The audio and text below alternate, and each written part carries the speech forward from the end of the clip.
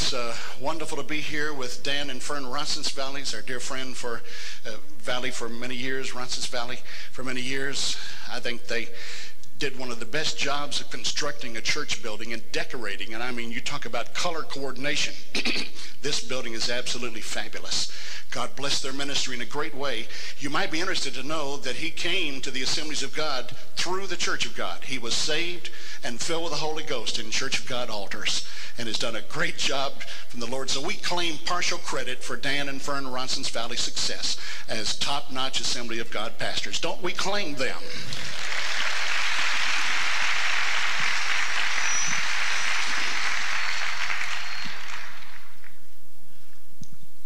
This is um, coming up on a holiday weekend, Father's Day, special date.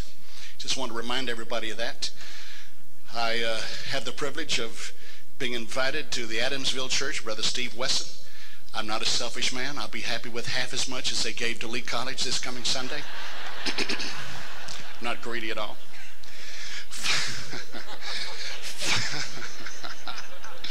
Somebody take the smelling salts back to Steve over there, will you? That you just passed out? I booked it before I heard about the Lee College weekend. I want you to know that. And uh, Father's Day weekend is special. Don't be now like the married couple where he was non-communicative in the morning, drank his coffee and read the paper, didn't say anything. One morning his wife came to the table and said, Sweetheart, do you know what date this is? He didn't answer. A few minutes passed. She poured another cup of coffee and said, Say, uh, do you happen to know what day this is? He didn't respond. A few minutes passed and she poured him another cup of coffee and rattled the paper on the other side and said, Say, do you know what day this is? And he slammed the paper down uncharacteristically, touchily, and said, Of course I know what day this is. You think I'm some sort of a fool? And he stalked out, went to work, slammed the door behind him. At about 10 o'clock that morning, a florist delivered a dozen long stem red roses. At 1 that afternoon, another uh, courier brought a five pound box of Godiva chocolates. At about 4 that afternoon, another courier brought some beautiful negligee. And at 6.30, he showed up for dinner. Candles were burning, and she came to the door and hugged him and kissed him and said, Sweetheart, thank you so much. You've made this the most unforgettable Groundhog's Day of our lives. Thank you.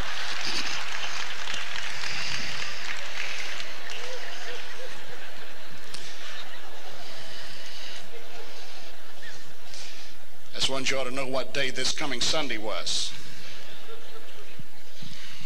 In case he says, sweetheart, do you know what day this is? You'll know what day it is. It's Father's Day. I speak tonight from a subject that I personally would not have selected for this night of camp meeting. Every preacher here can empathize with what I'm saying because you have certain material that you're familiar with, that you've worked with through the years, you know will work, so to speak. It's kind of like Moses when the Lord said, speak to the rock. God asked him to operate out of his weakness, speech. He had a speech impediment. His strength was the rod. He, instead, operating out of his weakness, he operated out of his strength. He smote the rock, and it worked all right. But he was penalized because of his disobedience and not allowed to go into the promised land. And when it all said and done, when we all get to the judgment of rewards at the Bema, we'll be rewarded for our faithfulness and for our obedience to God, not for using something we think might work because it's worked in the past. And I willingly submit my will to God's will for this service tonight, and I do not intend to preach a very long sermon. I always enjoy saying that because the most pleasant expression comes across people's faces when I say I don't intend to preach a long sermon. But I don't ever intend to preach a long sermon. It just doesn't work out that way all the time. but tonight I want to speak on the subject, giants within. Giants within. Mary Rubenstein wanted to be a singer. She had a good voice. But she was terrified to sing in public. When she went into recording studios, she could do great. But in front of a live audience, she choked up. There were giants lurking in the shadows, giants of fear. Mary Rubenstein almost despaired until finally she got a, an invitation to sing publicly in New Jersey. And she sang, or at least tried to sing, and went weeping off the stage after the second chorus, bursting into tears and vowing never to sing again. But Mary Rubenstein somehow was able to combat the giants of fear that lurked in the shadows of her own mind and heart and finally landed a recording contract and her confidence grew. And just a few weeks ago, Mary Rubenstein, whose name has been changed since then, sold out in 21 cities around the world. Her name now is Barbra Streisand. But Mary Rubenstein had to conquer the giants that were within her.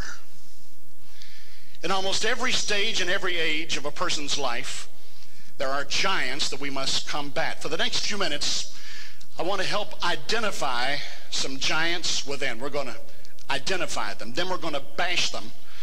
Then we're going to smash them. We're going to kill them. Because God wants you and me at our best to reap the harvest in these last days. And when I think of giants within, I have to go back to Numbers chapter 13. Numbers chapter 13 and read for you from the Word of God from this obscure text in the Old Testament. Verse 25 of Numbers 13.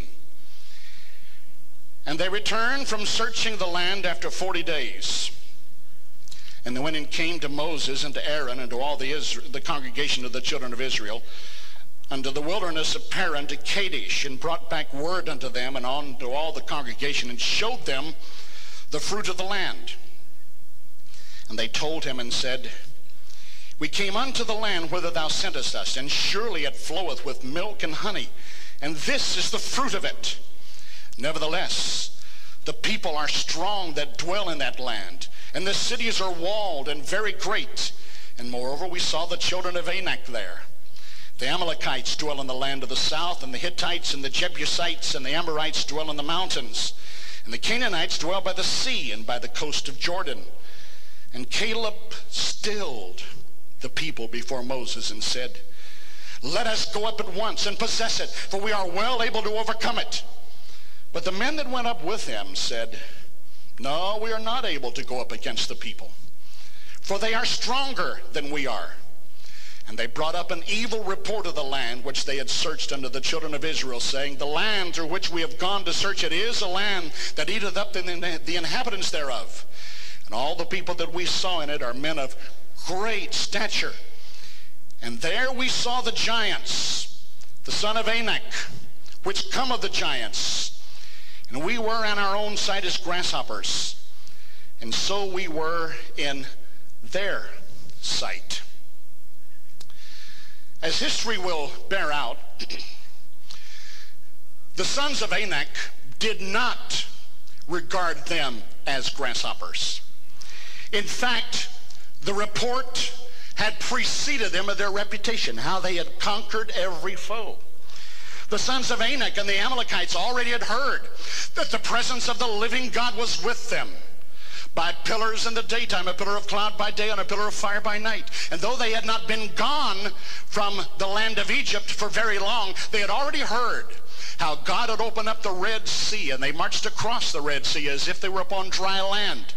And I never say that until I pause and tell one of the funniest little stories that has been told so many times it's threadbare, I guess, uh, about this lady. This was her favorite story from all the Bible and about the crossing of the Red Sea. And the first year seminarian came back and said, what are you rejoicing about? Don't you know that the Red Sea that I learned in seminary this year was only two or three inches deep? It was low tide at that particular time of the year, and the Red Sea was only two or three inches deep. That was no, uh, two or three inches deep. That was no miracle for the children of uh, God to walk across as if it were dry land. And she thought for a moment and started rejoicing again. He said, what you shunned about now? She said, I'm shunned because my God is able to drown a whole army of Egyptian soldiers in only two or three inches of water. Those stories had preceded them. They had already heard about them. But sometimes when we think something ourselves, about ourselves, we naturally assume that other people think the same thing. We naturally think because we feel ourselves to be inferior or not quite up to the task, that everybody else feels that same way about us. Just because we think ourselves inarticulate, that others may feel that we're inarticulate. Or because we feel that we're not talented, others will think that we're not talented. Giants lurk on the inside of almost every person. From their smallest beginnings, their youngest years, until the day they die, giants sometimes lurk in the shadows. My grandmother loved to make a garden and to work it. It was hard to do in the ghettos of Columbus, Ohio. She had done that in her home in Harlan County, Kentucky, on the country, and that wasn't too hard to do. But in the ghettos of Columbus, Ohio, she still liked to make a garden and work it. And my favorite part was not digging the furrows with a hoe or a pick or a shovel, but my favorite part was when we were through and the seeds were planted, when she made a scarecrow. She stuck one broomstick one way and horizontally the other way, dressed the scarecrow in, in uh, tattered-looking clothing and some chunks of coal where the broom was upside uh, upside down and, and uh, where, where it would uh, outline the face of, a, of an individual and then put an old hat on it and a corncob pipe in it. And, and it was a pretty awesome, eerie sight, especially about nightfall for us kids. But it served its purpose. It scared the crows without harming it. Webster has a, a definition uh, about that. He said that um, a scarecrow is a figure of a man dressed in old clothes set in the field to scare away birds from the crops. Something that frightens without harming. Did you hear that last part? Something that frightens without harming. Sometimes the devil sets up straw men in your life. Something designed to frighten you, but something that cannot harm you. Now, these leaders of Israel were elected from each of the 12 tribes. They were not appointed, they were elected. Representatives of each of the 12 tribes. Quick, can anybody tell me any of the names of the 10 spies that brought back a negative report? Nobody can probably tell me a single one without looking back at the first of the chapter. But everybody here can tell me the names of the two spies that brought back the positive report. I sometimes think about the power of a negative report. You can be in an old-fashioned Holy Ghost landslide revival and somebody will find find fault with the singing or the music or something's too loud or something's not loud enough or, or it's too hot or it's too cold or the services are too long or the preacher preaches too long or he doesn't preach long enough, although you don't hear that one too often. But uh, a lot of times God can just be coming down in mighty waves of glory and somebody will think themselves as God's one-man committee to set the rest of us straight.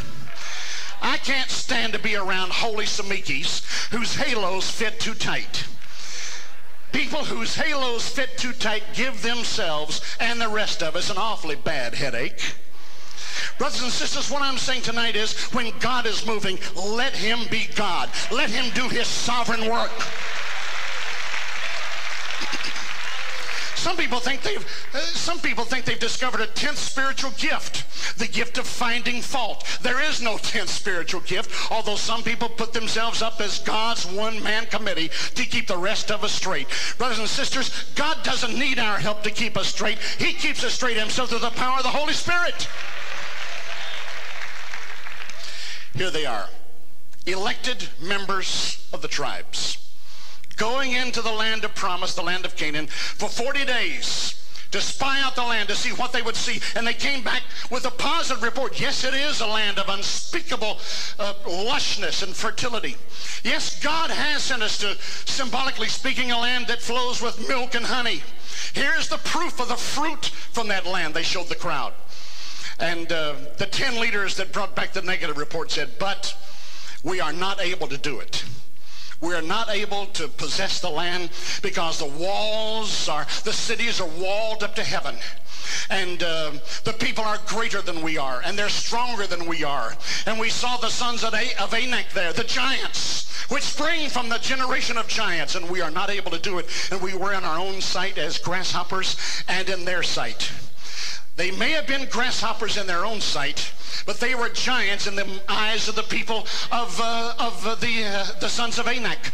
They themselves, some of them were about seven and a half to eight foot tall, Flavius Josephus says. But as a matter of fact, they were terrified of the children of Israel. They were poised for a final strike of victory. Generations earlier, or later, they would rue the day that they did not strike while the iron was hot. They were well able to possess the land. God was with them. God had said they were. Caleb and Joshua said, yes, we're well able to do it. Let's do it now. But the people got all up in arms and started murmuring. Murmuring against the Lord. Over in Psalm 78, he said they went in their tents, and there the Lord heard them as they murmured against the Lord. Now, murmuring is not just a little uh, sidebar. Murmuring is a sin in the sight of God. Whining, complaining, fault finding, gossiping is a sin.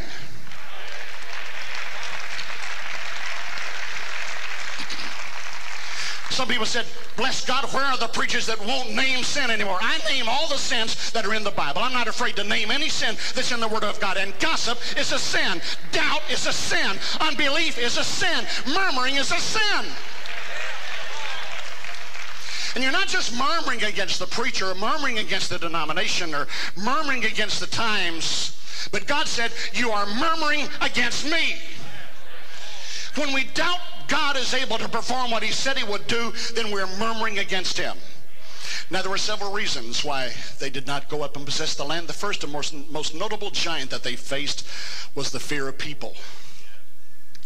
The fear of people, of course, is not new. Everybody has his giants. Jacob has his Esau. Daniel has his lions. The three Hebrew children, their fiery furnace. Noah, his flood. Elijah, his nemesis Jezebel. Elisha, the surrounding Syrian army. Paul, the beast of Ephesus. Peter, the contrary winds. For the fear of people. David engineered Uriah's death. He feared losing his position. Samson divulged his secret to Delilah because of her because of his fear of losing her favors and he was afraid of losing status in her eyes.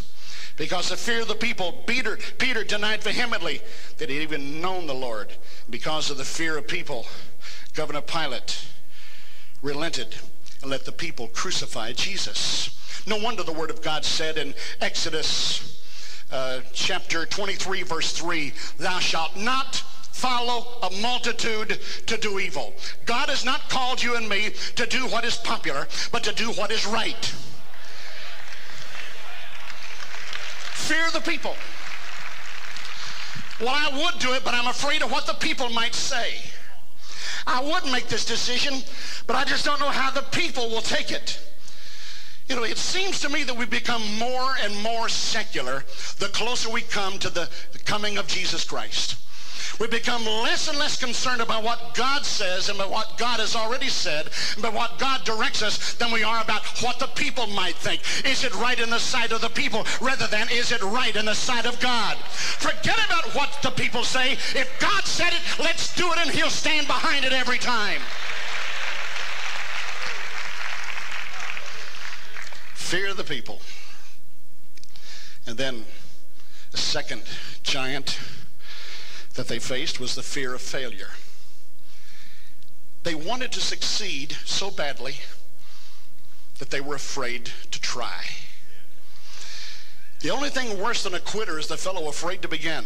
Someone once asked gentleman Jim Corbett during his colorful boxing career, what's the most important thing for a person to do to become champion of the world? Gentleman Jim ought to know he just knocked out John L. Sullivan in the 24th round of their bare knuckles heavyweight championship match in the year 1892. Gentleman Jim said the most important thing for a person to do to become champion of the world is to fight one more round. When Walt Disney applied to the Kansas City Star for a job as an artist, the editor of the Star sent Disney away saying, young man, you have some talent, but it's my professional opinion, you just don't have the raw talent it takes to make it as a commercial cartoonist. First time George Gershwin played the piano in public, they laughed him off the stage, but he went one more round. It could be that I've come by Birmingham, Alabama to tell somebody tonight it's always too soon to quit, so hang in there. God isn't dead. With God, all things are possible.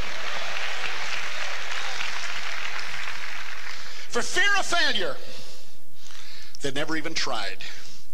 They accepted defeat without so much as a single shot being fired.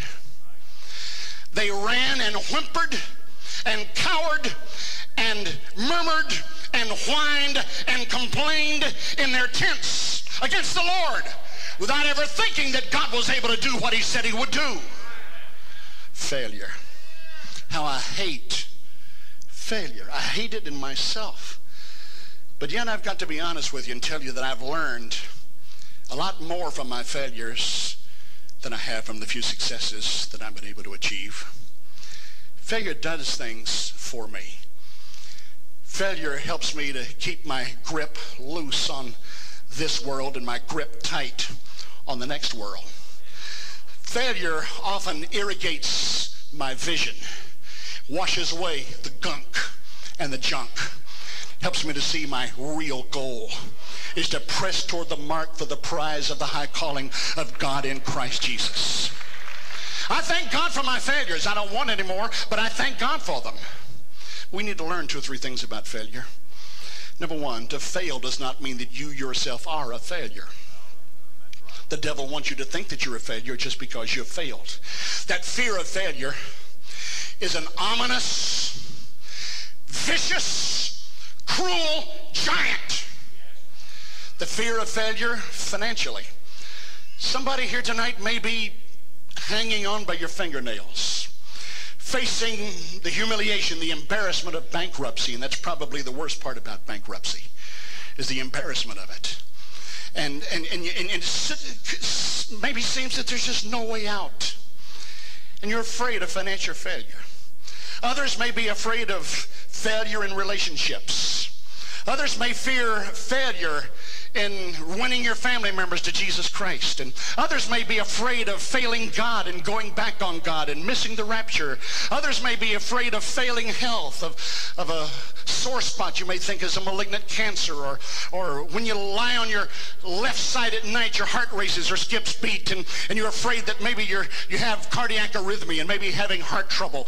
And, and a lot of things concern people and, and keep them from doing and being what they ought to be.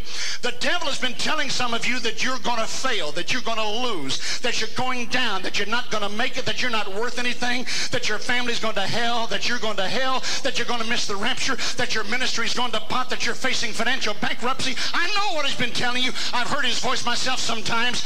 I know what he's been saying to you because he's been saying some of the things, same things to me. He says you're going to lose. He says you cannot win. But I say, through the faith of God tonight, you are not going to lose. You're going to win. I say through the faith of God, you're not going to be defeated. You are going to be victorious. I say through the faith of God tonight, you are not going under, you're going over. I say through the faith of God, you're not going to lose your family. You're going to win your family to Jesus Christ. I say you're not going to go to hell. You're going to go to heaven. In the name of Jesus, you are going to win. Ooh, hallelujah. You are going to win.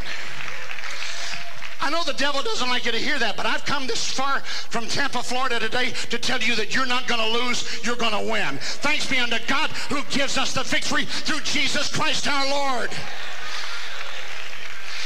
Let me hear a, a divine affirmation of faith. I don't know, you may not believe in this, but I believe in it scriptural, speaking to yourselves in psalms and songs and spiritual hymns, encouraging yourself, encouraging one another in the Lord. I speak tonight an affirmation. I point to myself and touch myself on the shoulder and I say, I'm going to win. In the name of Jesus, I'm going to win. Let me hear you do that. In the name of Jesus, I'm going to win. Say it again. In the name of Jesus, I'm going to win. Say it again. In the name of Jesus, I'm going to win.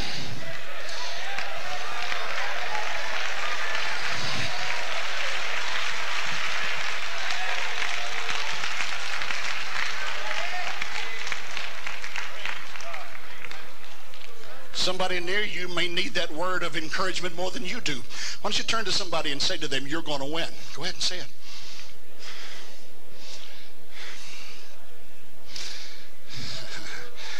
I can do all things through Christ who strengtheneth me.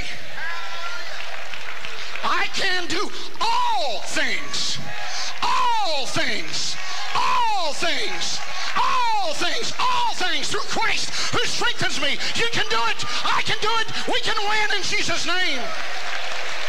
Hallelujah.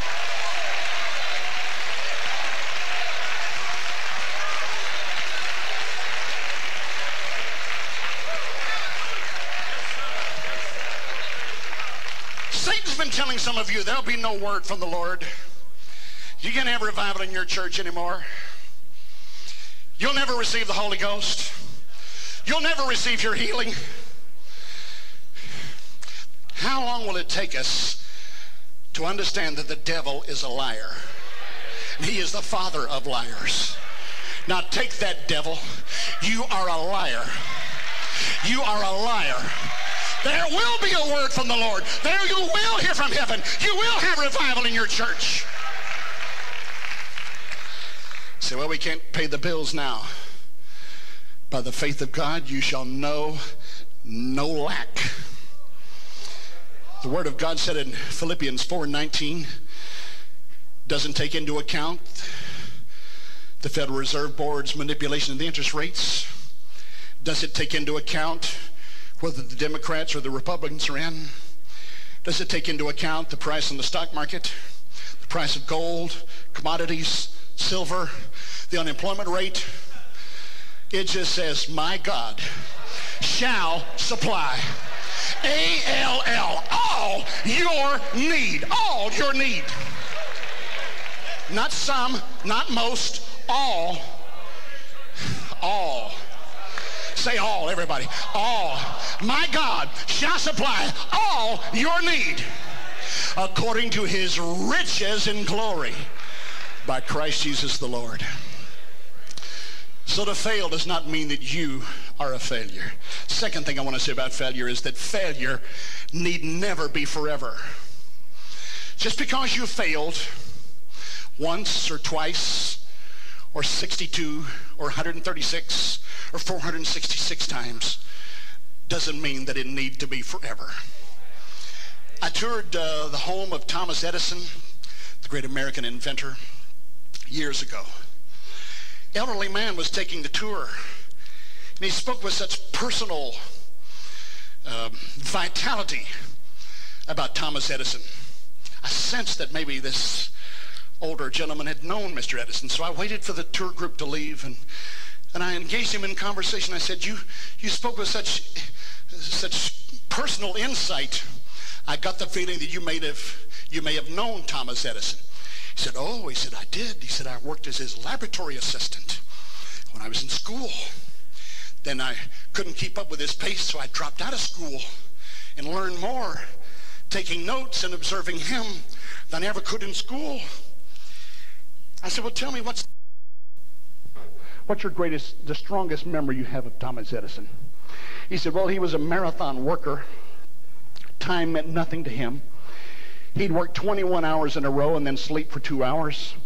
Then wake up and work another 17 and a half hours and sleep four hours and then have a meal and work another 26 hours and then sleep six hours and wake up and work another 14 hours and so on. He said it, was, it nearly wore me out. And he said, uh, he was seemingly right on the verge of a breakthrough regarding the incandescent light bulb, of hardening the shell that surrounds the bulb so it wouldn't burst after a few minutes of heat.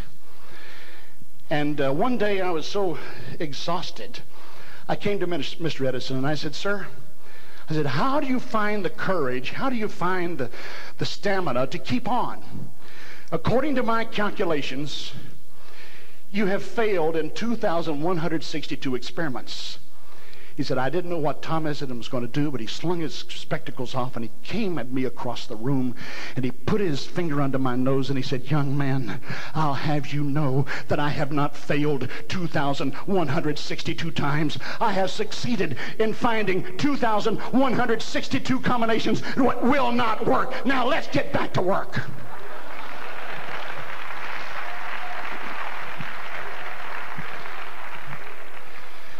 And the man said, by actual count, 177 experiments later, Thomas Edison found the right combination that worked. I'm so glad that Tom Edison didn't quit trying because he had failed in the eyes of a young laboratory assistant 2,162 times. In the work of the Lord, what will we say to God? When we face him. And he'll say, why didn't you do what I called you to do? I called you to actually go into the harvest and reap the grain. But Lord, we were too busy having commission meetings and task forces and sharpening the weapons and writing our reports and presenting those reports and creating these nice things that look good on paper. And he'll say, but why didn't you actually get into the harvest and reap the grain while you had opportunity? But Lord, we were so busy doing your work in these meetings. They seemed so important at the time. It seemed to be the priority. And God will say, but why didn't you do it? But Lord, I was afraid of failing. Surely somebody besides me could have done it. Who is going to do it if you and I don't do it? Who's going to win the souls if you and I don't win them? Who's going to open up new territories and new nations and new worlds for Jesus Christ and the kingdom of God if we don't do it? We have a whole eternity, an entire eternity to celebrate our victories. But only one short hour remains before the midnight cry. You remember that little nursery rhyme limerick of years ago? I believe that people see what they want to see, and they do pretty well what they want to do. Remember it said, Pussycat, Pussycat, where have you been? He said, I've been to London to see the Queen. Pussycat, pussycat, what saw you there? I chased a little mouse under the queen's chair. Here the pussycat was in Buckingham Palace. He had access to seeing the queen's jewels, the sapphires and rubies and diamonds, the elegance of Buckingham Palace itself, the lords and ladies of the queen's court. What he saw was a little mouse that he chased under the queen's chair. And the limerick goes on where he interviews uh, uh, a buzzard. And he says, Where have you been? And the limerick goes that I've, uh, I've surmounted uh, majestic mountain peaks and the ocean's foams and the beaches. And what saw you there? He said, I saw a dead cow and the call, a jackal's call, and maggots crawling inside. Sometimes we focus on the wrong things. We see the wrong things. We talk about the wrong things. We report the wrong things. Some people can go to a ripened harvest field and they see the, the shekels of grain everywhere ready to be reaped and they win souls. Somebody else can go to the same harvest field and say, well, these folks aren't Church of God. They don't look like Church of God. They don't act like Church of God. Of course they don't. They've been in communism. The Lord willing, we'll meet a young girl tomorrow night who was converted just a few months ago in our ministry in Russia, who was born into a communist family, who went to Moscow State University. And the first time she heard the gospel of Jesus Christ preached, she interpreted it. The Lord saved her soul and forgave her of her sins. And she's a Holy Ghost filled Christian today, working full time for God. Some people can go to China. They can see a vast harvest field and, and an unparalleled opportunity for the gospel. They hear the words of the prisoners and they hear the words of the house churches as they whisper for fear that the police will catch them and disband them and perhaps rob them as they do sometimes and send them to prison or kill them. They literally whisper the songs. Amazing grace, how sweet the sound. That's what they do. It's how they worship sometimes in the most uh, dire circumstances in house churches. Some people can go and they can weep and they can get moved by that and they see the harvest field and they say, we've got to team up with these people. We've got to network with them. Somebody else can go to say the same thing and say, those people are afraid of the authorities. Why don't they just open up and let go and let God have his way and clap their hands and shout and run the aisles like we do? Brothers and sisters, what I'm telling you is that God has a world out there that's dying and going to hell and we're fussing about who's going to play the piano on Sunday night. We're losing our sons and daughters, and we're worried about who's going to teach the card class on Sunday morning. Teachers, uh, preachers and teachers are having heart attacks and pastors' wives are having nervous breakdowns because there is no such thing as commitment. There is no such thing as loyalty. There is no such thing as faithfulness. There is no such things, uh, such thing anymore as doing the right thing because God's word said it. But thank God for those men and women who are doing what they're doing because God's word said it. I want to tell you, great will be your reward in heaven. You'll hear him say, well done, good and faithful servant, enter into the joys of your Lord. Lord. Somebody say amen here tonight. Somebody else say praise the Lord. Somebody say hallelujah. Somebody shout glory to God. Raise your hands and say praise the Lord. Say glory to God. Say hallelujah. What I'm saying is, brother, let's see the right things. Let's do the right things. Let's say the right things. Let's believe the Lord's report. He said we're well able to do it, so let's do it when God says let's do it.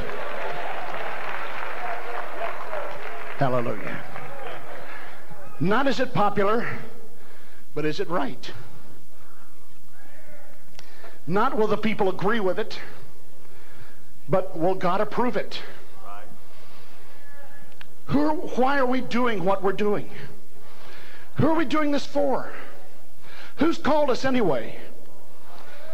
Why are we spending? Why are we giving? Why are we investing? Fear of failure. Should I change mics? We're not having a thunderstorm, are we? Okay.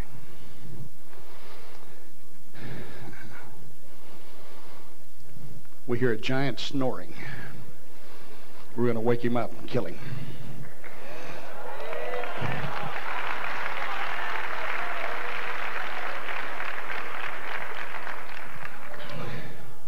Third thing about failure refuse to allow the fear of failure to paralyze you. Do what you're going to do for God. God can only bless an effort. When no effort is made, God has nothing to bless. We've stopped even trying to think about having revival meetings anymore. When no effort is made, God has nothing to bless. Some of our brothers and sisters are hoping and making plans to abandon the Sunday night uh, worship revival rally service. Have a super Sunday morning service, abandon Sunday night, abandon Wednesday night, abandon prayer meetings, stay at home with your family nights. I call that a cop out. I don't know what anybody else calls it. I just call it a cop out. We just give up.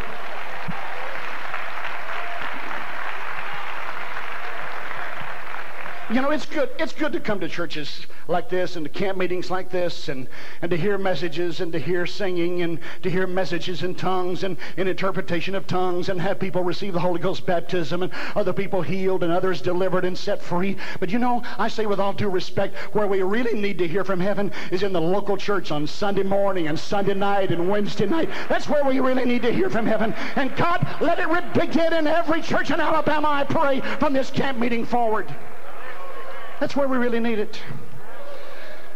Then the third and most disastrous giant that confronted them was the fear that God would not be with them as he had been with them in the past. The fear that God would not be with them as he had been with them in the past. I can quote this scripture, but I'd like for somebody up here to get Revelation 21 and 8 ready and come up to the microphone and read it. Somebody nearby, if you will, please. what I want to say to you is the fear that God will not be with you as he has been in the past is perhaps the most deadly giant of all. God has not gone out of the soul saving business. He has not stopped healing people. He has not stopped baptizing people with the Holy Ghost. He has not stopped setting people free. He is still delivering people. He is still setting people free. He is still saving sinful souls. He's still writing new names in the Lamb's Book of Life. God has not abdicated his responsibility. God is still sovereign. He's still on the throne. But some of us have changed our perception of who God is. Somebody has that? Come on, Bill. Revelation 21 and 8. The little red one.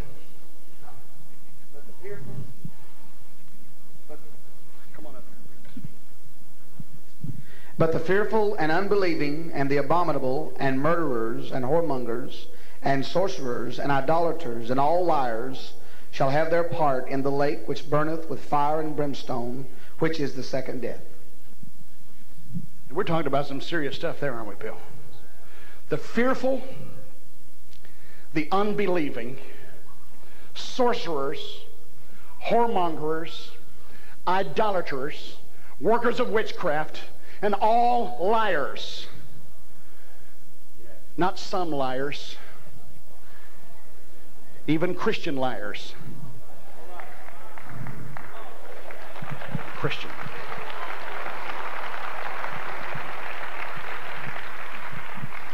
If you're not going to do it, don't tell me you're going to do it. Just keep your mouth shut and do it and then surprise me.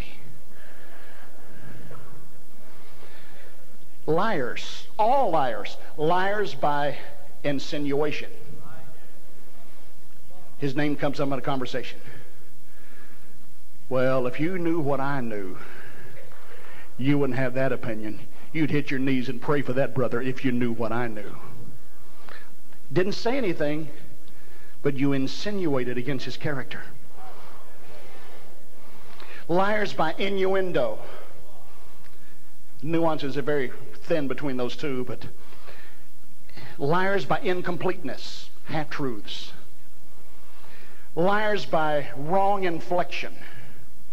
In other words, anything that we consciously do to mislead the perceptions of others is a lie. I don't know why I'm preaching this way, but I just feel impressed with God to just come right down. Is that all right with you? Is that okay?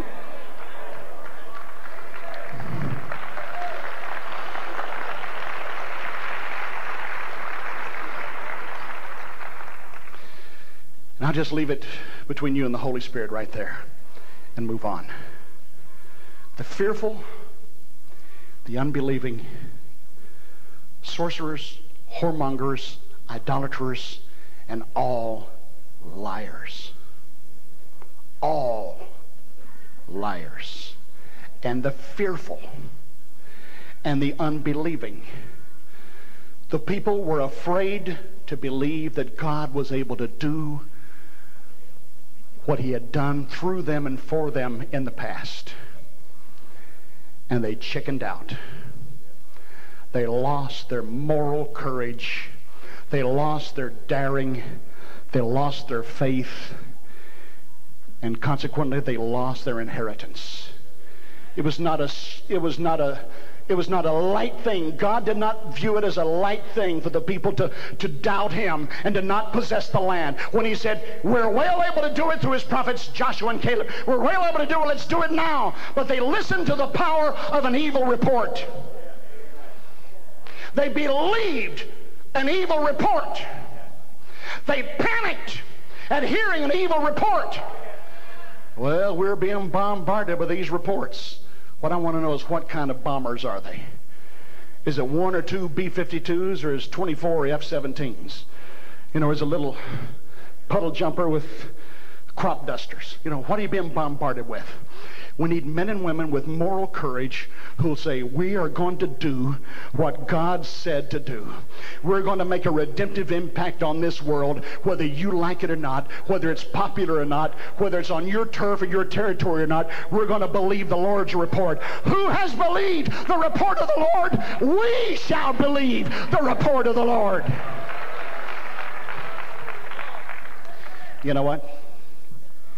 The only two. And these 10 spies that brought back the negative report, they deserve for their names to be on the scrap heap of anonymity in history.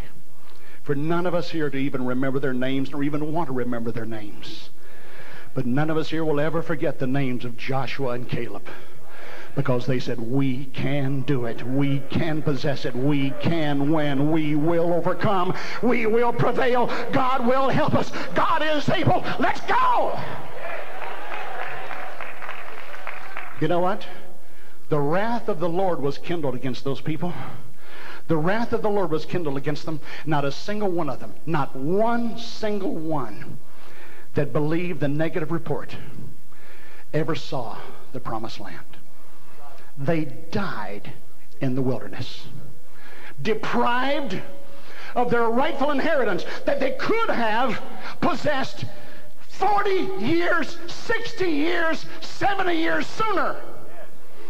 But they ambled around in the wilderness for all those years because they believed and they acted upon a negative report. How different it would have been had they believed the report of the Lord. But they believed that the sons of Anak, the giants, were greater than the people of God. They believed themselves to be grasshoppers and thought that the people of Anak perceived them as grasshoppers. But those straw men that have loomed so large in your life for so many years can come tumbling down in the next few moments of time. Stay with me just a moment. Spiritually, I'm going to ask you to do a very difficult thing for some of you. I'm going to ask you to get a pencil or a pen and a little slip of paper. The Word of God said judgment begins in the house of the Lord.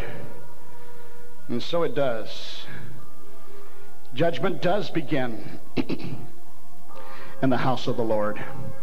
Pencil and paper, quickly, please. If you don't have a pencil, borrow one. This won't take you very long, and it's going to be done confidentially and quickly, but yet with deep heart searching.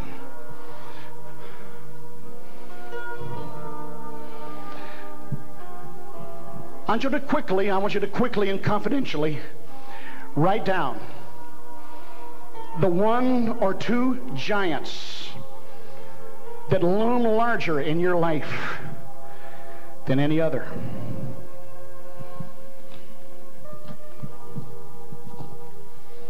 If it's money, just put a dollar sign. If you don't want somebody to see it, then put X or Z, the algebraic term Whatever it is that's been hindering you, whatever the giant is, whatever it is, if it's fear of people or fear of failure, may even seem to be a virtue. You may have rationalized it as some sort of a virtue. But deep down inside, you know it's a giant that's, that's terrorized you for years and terrifying you even now as I speak. But I believe I've heard from heaven this afternoon that God is going to set you free. You are going to be delivered from that fear. You're going to be delivered from that secret sin. You're going to be delivered from that fear of failure, that fear from people, or that fear that God will abandon you, that God will not be with you. I want to tell you that He said, in Psalms 27, your father, your mother may forsake you, but I will never leave you. I will never forsake you. And in Matthew, he said, I'm with you all the way, even to the end of the world. God has not forgotten you. He knows who you are. He knows where you are. He knows what you're going through. He knows the giants that loom large in the shadows of your life. He knows you. And he's the warrior. He's the mighty warrior. The Holy Ghost was not given as a nursing mother to fretful children, but he was given as the captain of a mighty host. Tonight we're going to call upon our captain to, in Jesus' name, help us slay the giants. Put it down on paper. Then as soon as you put it down, if you will fold it up to the smallest portion of paper that you can. If you don't have a pencil, then let the paper, let the piece of paper that's blank symbolize the one thing in your life, the one giant or the two giants that have loomed so large in your life for so long.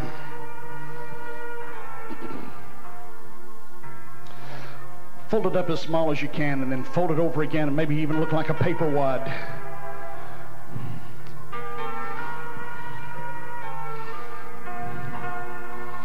Have you got it in your hand? Have you got it ready?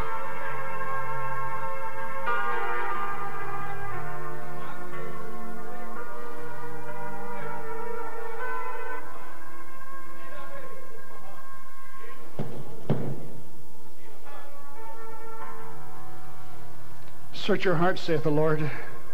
Wash you and be made clean. Put away the evil of your doings before mine eyes. Though your sins be as scarlet, they shall be as white as snow. Though they be red like crimson, they shall be as wool. Look unto me, and I, the Lord, will save you. I, the Lord, will deliver you. I, the Lord, will set you free. Thank you, Jesus. We claim that promise tonight in Jesus' name. And I'm going to ask you to hold that little piece of paper up in your hand right now. Just do it right now. Do it. Thank you. All the way up in the balconies. Hold it in your hand. Lord, on this slip of paper or symbolized by this slip of paper, there are giants. Giants within. Giants inside of us the fear of people, the fear of failure, the fear that you won't be with us in the future as you have been in the past. Lord God, forgive us for ever thinking that thought. Forgive us for ever buying that lie of the devil. We know that we're not going to be defeated, we're going to be victorious. We know that we're not going to lose, we know that we're going to win. Oh Lord, help us to meet and defeat the giants within tonight. I pray in the name of Jesus. Are you ready to commit it to the Lord right now? If you are, stand up. Stand up with that paper in your hand. Stand up. Are you ready to commit it to the Lord? Stand up if you are, all over the building. And if you're not involved in this, stand up now, everybody here. Nobody heading for the exits. Everybody staying absolutely still. Holding your hand up. The Word of God said, casting all your care upon Him, for He cares for you. Casting all your care upon him, for he, he loves you with an everlasting love. He wants to set you free. He wants to deliver you tonight. I'm going to ask you to pray the prayer. And I'm going to ask Walter Atkinson to come out here and pray a prayer of deliverance. And I want you to, yes, Lord, what the man of God says. I want you to give verbal assent and verbal approval and amens and hallelujahs to what he says. Then after he says amen to the prayer, he's going to hand the microphone back to me. We're going to take the next step. Pastor Atkinson, come and pray the deliverance prayer with us tonight. Bless the Lord, O my soul, and all that's within me. Bless your holy name.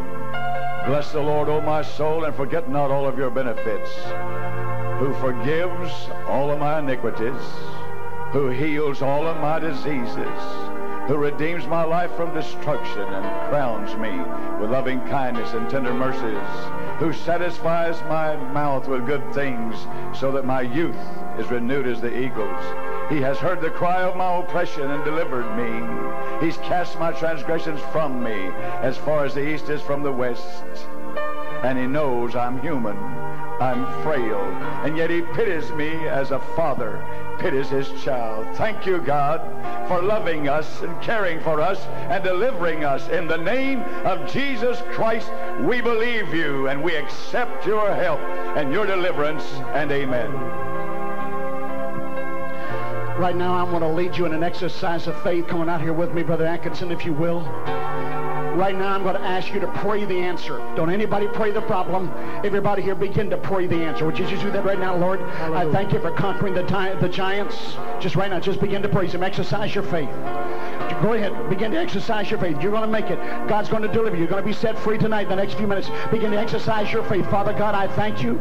I praise you. I honor you. I glorify you in the name of Jesus Christ. Thank you, Jesus. Thank you, Jesus. Thank you, Jesus. Thank you, Jesus. Hallelujah. Praise your wonderful name, Lord. Praise your wonderful name, Lord. Praise your wonderful name. Thank you, Jesus. I meet the giants within, and I come against every giant tonight in the name of Jesus. In the name of Jesus.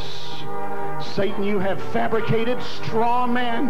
You have set up spiritual giants to terrorize God's people. I command you to take your hands off of God's property. Devil, back off. In the name of Jesus, whose we are and whom we serve, back off. Take your hands off God's people in the name of Jesus. Take your hands off of God's people now in the name of Jesus. Thank you, Father God, in Jesus' name. All right, are you ready to do something? It's going to be probably the strangest thing any preacher's ever asked you to do. These pieces of paper that you've got that symbolize the one giant that's there, I'm going to say in the name of the Father, in the name of the Son, in the name of the Holy Ghost, be set free. When I say free, I not only want you to release it, I want you to cast it. Cast it up like confetti, like a celebration. The janitor here at Cathedral of the Cross is going to love Carl Richardson. We may ought to form a committee of action. Don't anybody go around after church looking at what other people's giants were. Let's burn them up in the in the uh, garbage disposal tonight after church or tomorrow morning. Tonight, I don't want anybody here to take the giant home with you. I want us to cast the cares upon him. Whatever it is that's in worrying you, whatever the fear, whatever the anxiety, whatever the apprehension, in the name of the Father, in the name of the Son, in the name of the Holy Ghost, be set free. Woo! Hallelujah! Hallelujah! Now clap your hands for God's glory. Go ahead. Clap your hands for God's glory. Hallelujah! Who has believed the report of the Lord? Well, whose report will you believe? The report of the Lord. Tell me whose report are you gonna believe? We shall